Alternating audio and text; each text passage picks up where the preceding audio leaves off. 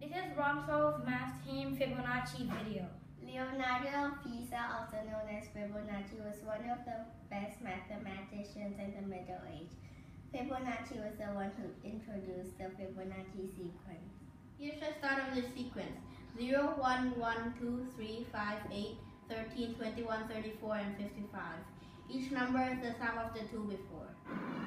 A man put a pair of baby rabbits into a large enclosed garden. They cannot breed until they are two months old, but at the end of the third month, they produce a new pair of rabbits, which turn to become productive at two months month old. If nature takes its course and they are producing in the notorious way that rabbits do, how many rabbits will there be at the end of the year? Fibonacci numbers are everywhere.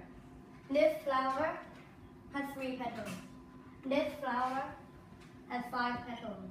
This flower has eight petals, and this one has 13.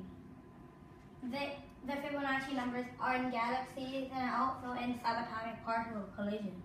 Any four numbers in a row in the Fibonacci sequence and times the outside number together, then multiply the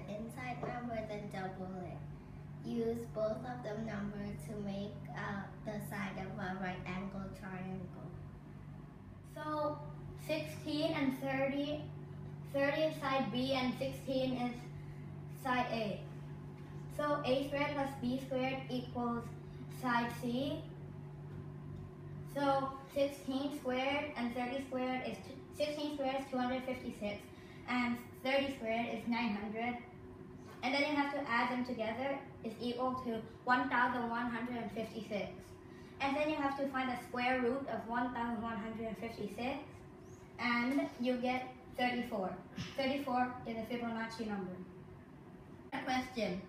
Are Fibonacci numbers really everywhere or do they just seem to be? Are there more mathematical relationships in Fibonacci numbers? For survival, in particle physics, like they just found Higgs boson, the world's smallest particle. Thank you for watching our Fibonacci videos.